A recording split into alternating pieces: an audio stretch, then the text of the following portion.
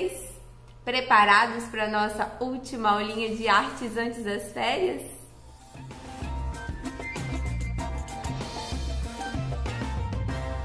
Tô até mais animada aqui para a aulinha de hoje e nem é por causa das férias, tá? É porque eu pude matar um tiquinhozinho assim da saudade de que eu tô de vocês na aula online segunda-feira da tia Flávia. Eu amei poder ver e bater um papinho aí com vocês, viu?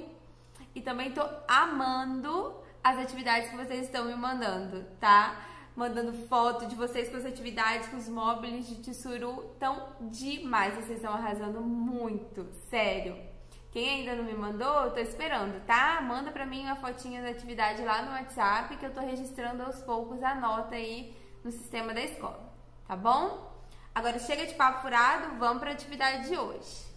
Para essa atividade, a gente vai precisar estar com o caderninho em mãos enquanto vocês assistem o vídeo. Então eu vou ficar aqui aguardando vocês irem lá pegar o caderno, tá?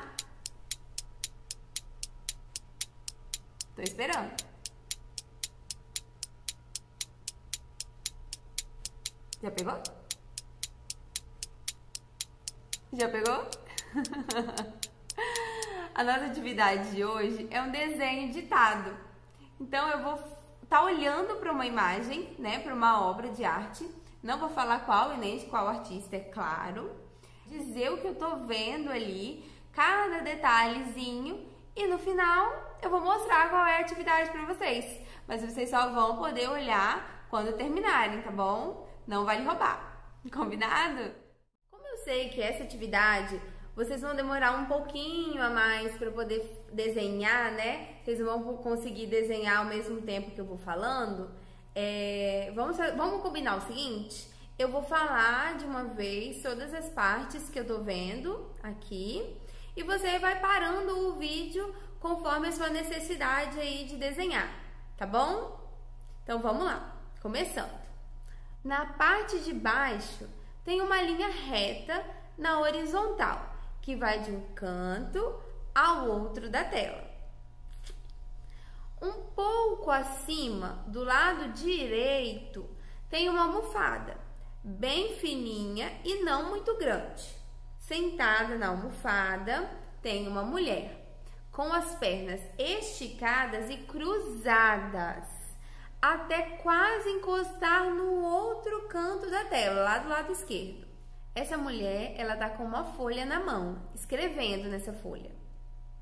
Perto dos pés dessa mulher, do lado esquerdo, tem um quadro em formato de losango. A ponta dele vai dos pés dela até em cima da tela.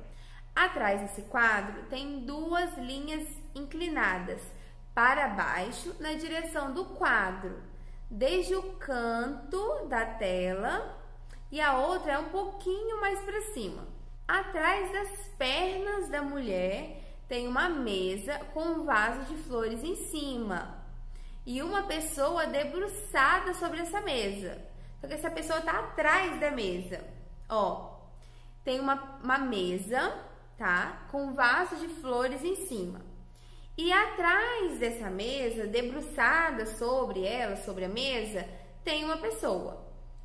Embaixo da mesa tem uma meia lua virada para cima. Atrás da pessoa que está debruçada na mesa tem um lençol esticado como se fosse uma cortina. E atrás dessa cortina tem uma janela. E aí, como é que ficou essa obra de arte de vocês aí? Nossa, eu tô morrendo de curiosidade para saber.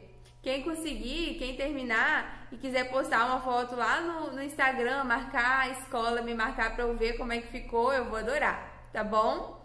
Então, como prometido, depois que vocês finalizaram aí o seu desenho, a obra é uma obra do artista chamado Picasso o nome dessa obra é Interiores e ele fez essa obra em 1935.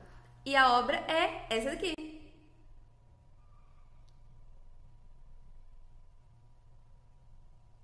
E aí, como é que ficou de vocês? Ficou parecido?